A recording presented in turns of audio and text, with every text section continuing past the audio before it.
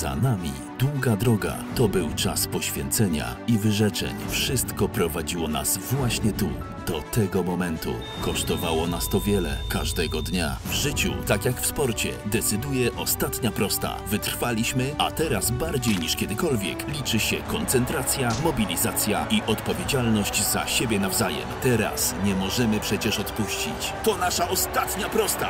Jesteśmy tuż przed metą. Razem zwyciężymy. Szczepimy się.